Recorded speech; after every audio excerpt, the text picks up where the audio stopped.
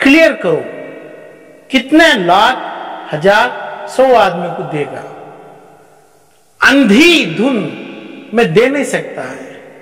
लोग अंधे और गुंगे बन के एप्लीकेशन डाल नहीं सकते। किसको मिल रहा है पैसा? घर बैठे किसको मिलेगा? क्यों लेना चाहिए? तो गाड़ी, कार का मतलब कमर्शियल कार में देते हैं। किसको देते हैं? मेहनत पढ़ के पैसा हासिल करो। ये भीख में नहीं जमा है। फुगुट में भी नहीं जमा है। ऐसा मत लीजिए। ये मैं चाह रहा हूँ कि भाई मसाजिदों से, फला से फला जगह से उसका ऐलान हो। मंत्रियों के एमएलए की चिट्ठी ना बांटे हैं क्योंकि लोगों को पचास हज़ार लोगों में क्या पाँच आदमी को मिल रहा है? रिसेंटली रियासत कर्नाटक की गवर्नमेंट ने माइनॉरिटीज़ के लिए स्कीम जारी की गई है जिसमें बहुत सारे कार्स वगैरह माइनॉरिटीज़ को हासिल होंगे। ये किस तरह का माइनॉरिटीज़ फ़ायदा उठाए इस मौके का? लाख रुपए सब्सिडी कार लो ट्रांसपोर्ट कमर्शियल गाड़ी लो। ना पाँच लाख तक का लोन इंटरेस्ट फ्री लोन देंगे। बहुत अच्छी स्कीम है। बहुत बढ़िया स्कीम बनाए हैं। जो भी हो माइनॉरिटी में और माइनॉरिटी में दलित क्रिश्चियन दलित हो या ना हो मुस्लिम ऐसा जैन्स ऐसा बहुत से कौम मिल को आती है। इसमें 10 से पंद्रह हज़ार करोड़ रुपए तक का बजट भी हानरेबल चीफ मिनिस्टर बताए थे। आ, वो वो हो रहा है। इसमें अनाउंस जो किए अच्छा सा स्कीम कर रहे हैं। मगर बात क्या है? तो ये खुला नहीं है। कौन कहाँ से? एलिजिबिलिटी आधार कार्ड दो बीपीएल कार्ड दो फलान दो ये सब भी ठीक है। कितने गाड़ी देंगे? कितने डिस्ट्रिक्ट में देंगे? कितने एरिया में देंगे? इसको कौन साइन करना पड़े? ऑनलाइन में चल रहा है। पचास हज़ार से लाख रुपया स्कॉलरशिप है, लोन है, फंड है, ये भी चल रहा है। तो ये क्लियर होना चाहिए। हुकूमत से मेरी अपील है, मेरा हम्बल रिक्वेशन है भाई क्लियर करो। कितने लाख, हज़ार सौ आदमी को देगा। अंधी धुन में दे नहीं सकता है। लोग अंधे और गुंगे बन के एप्लीकेशन डाल नहीं सकते हैं। किसको मिल रहा है पैसा? घर बैठे किसको मिलेगा? क्यों लेना चाहिए?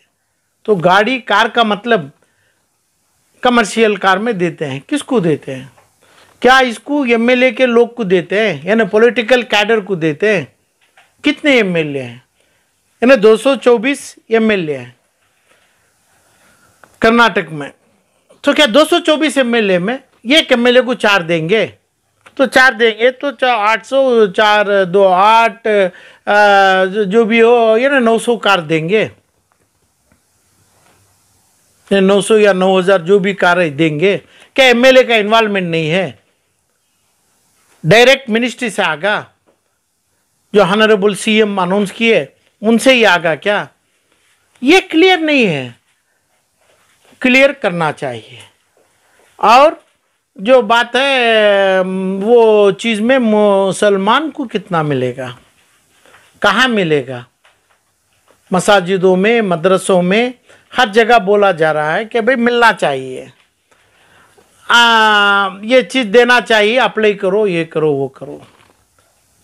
तो मसाजिदों में ये नहीं बोला जा रहा है कि बच्चे मासूम मुसलमान के पढ़ के नब्बे परसेंट मार्क लो। मुसलमान के मैं, मेरे बेटे से या ना मैं खुद, ये मेरे, क्या बोलते हैं इसको, मेरे खानदे घटे हैं, मेरे को ताकत है, मेहनत पढ़ के लियो। मेहनत पढ़ के पैसा हासिल करो। ये भीख में नहीं जमा है, फुगुट में भी नहीं जमा है। ऐसा मत लीजिए। ये मैं चाह रहा हूँ कि भाई मसाजिदों से फलां से, फला जगह से उसका ऐलान हो।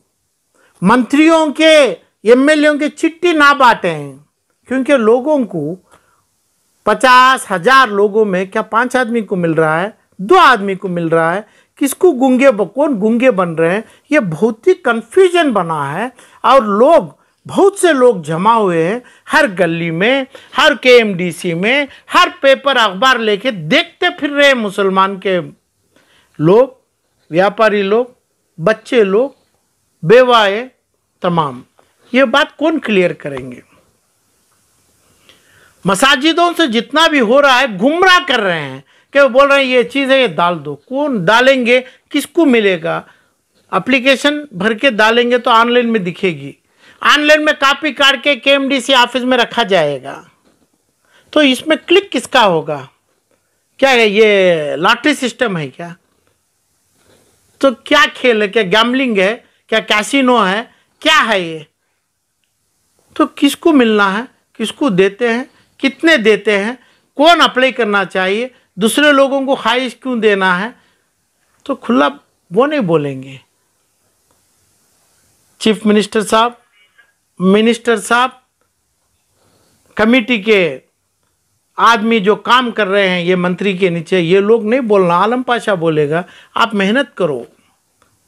आप ताकत वाले हैं, आप इलम वाले हैं, अल्लाह आपको इलम दिया है। आपको जब तक जिसम में ताकत होगी, यानी मुसलमानों को खसूस ये लोग ये पैसा क्यों हासिल करेंगे? जो मेहनत, ईमानदारी की मेहनत से जो मिलता है, वो चार लाख, तीन लाख से नहीं, तीस करोड़ के ज़्यादा भी मिलेगा, उतनी खुशी भी हासिल होगी आपको, वो आपका हक होगा। हकूक होगा। ये जो गैमलिंग में दस हज़ार आदमी डाला, उसमें दो आदमी को आया।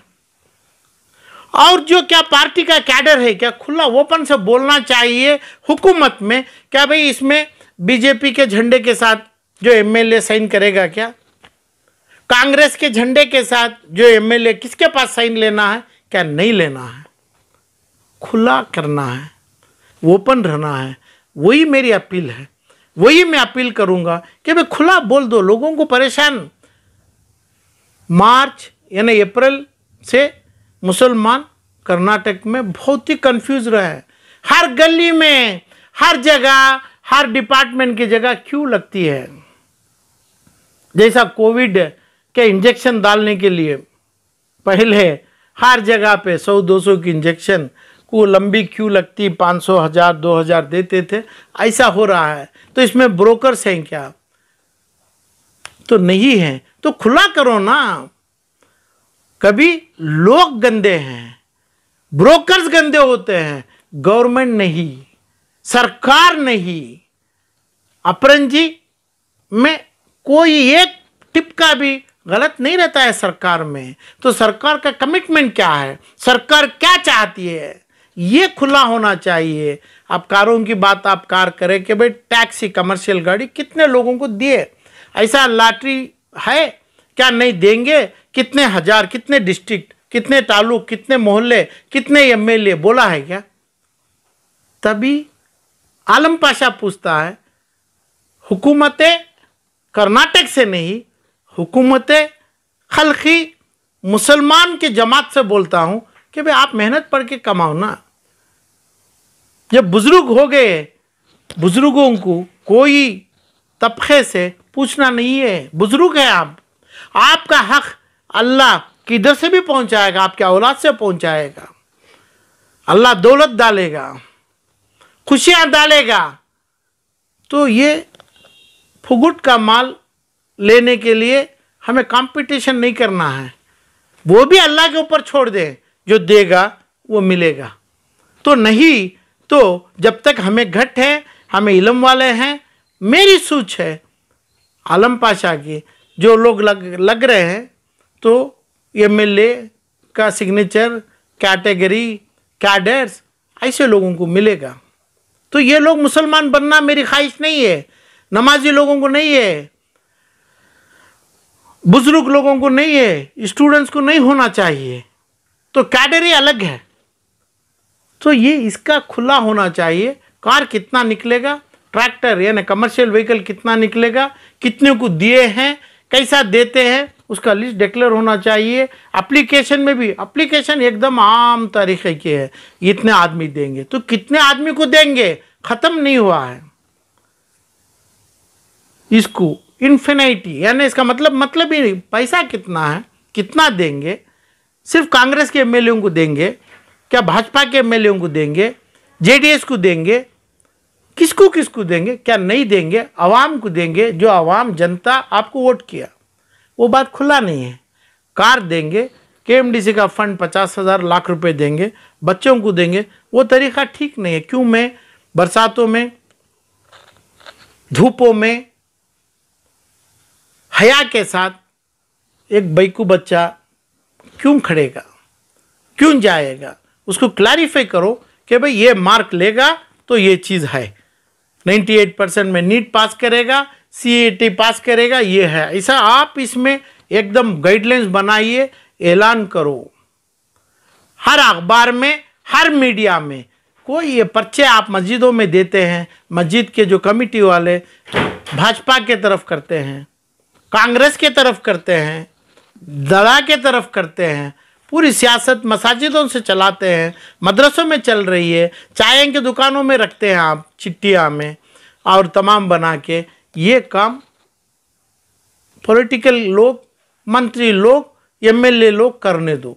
मुसलमानों का काम नहीं है, हुकूमत वो नहीं करती है। ये बीच के लोग करते हैं, मुसलमानों को चाहिए, ये चीज़ों के ऊपर उम्मीद हटा दो।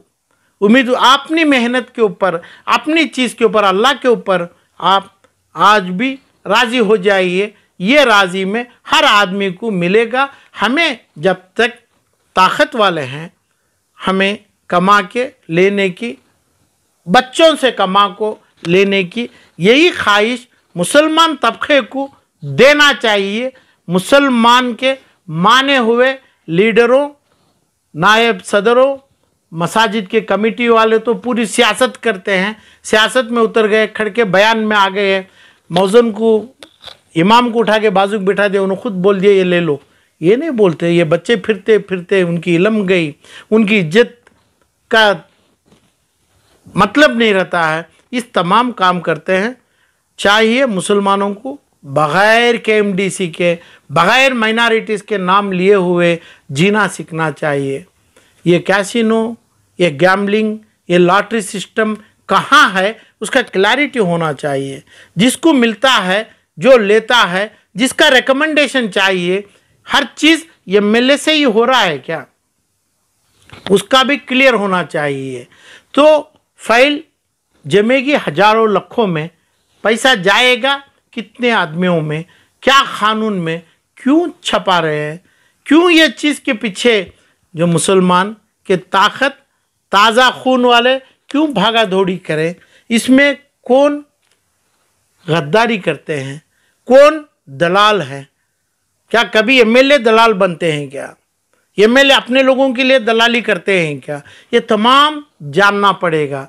जब वो खुद दलाली कर लिए तो ये स्कीम में मतलब नहीं है। आवाम में मतलब नहीं है। आवाम के वोट में मतलब नहीं है। वोट देना हमारा काम। मुसलमान का काम सिर्फ़ वोट देना है। लेना नहीं है। लेना अल्लाह से लेना है। अल्लाह देगा।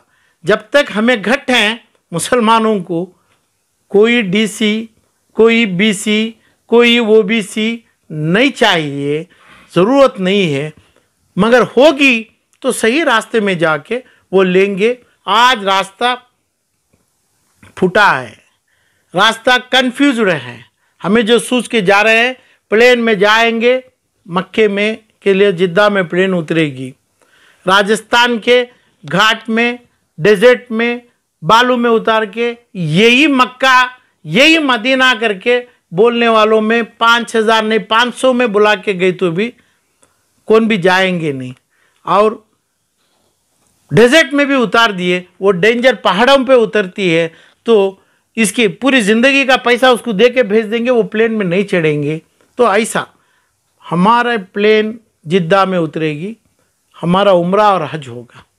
ऐसे सही प्लेन में चढ़ना है, वही मुसलमानों के लिए सही होगा। अपना टाइम, अपना बुढ़ापन, अपनी जवानी, ये तमाम बेकार हो जाएगी। अल्लाह जो जवानी और जो बुढ़ापन और जो इलम, जो इज़्ज़त दिया है, हमें बरकरार मुसलमान रखना है।